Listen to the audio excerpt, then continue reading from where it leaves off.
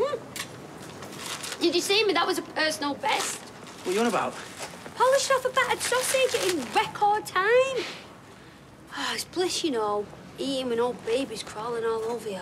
What, so you left Ches with all of them? Yeah. Oh, we'll have him to sleep by now. He reckons he's some kind of quad whisperer.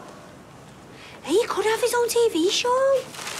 So, he'll be all right looking after him while you join me and Summer for some karaoke and dance mat action on a special day. What for? Oh, come on, you're joking. It's our 29th, take two.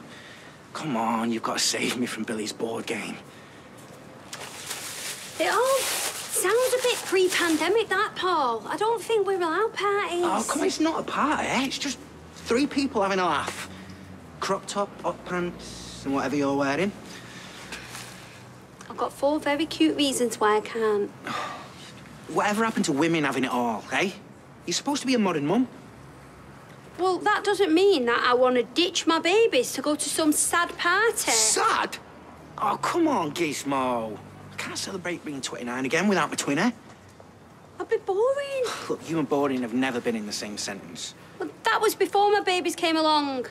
Yeah, it'd be all right if you just took a bit of time for yourself. I know they will. It's me. I just don't feel like celebrating right now.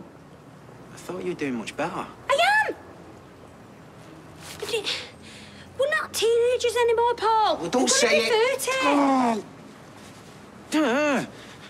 I feel like I'm in Starsky and Hutch or something. Well, maybe we should have a code word like Karawajan.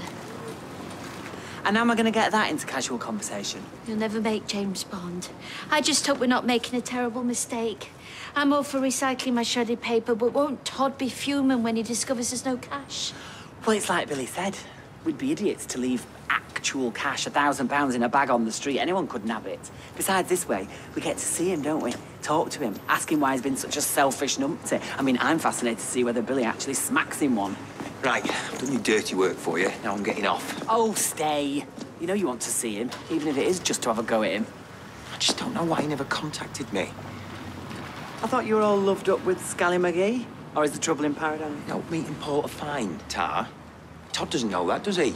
I mean, for all he knows, we've been heartbroken and pining for him all this time. But you haven't. That is not the point. Did you see anybody lurking when you dropped off the fake cash? He might be wearing a disguise. Well, if he's got any sense, he will be. Yeah, no. No, I didn't see anyone.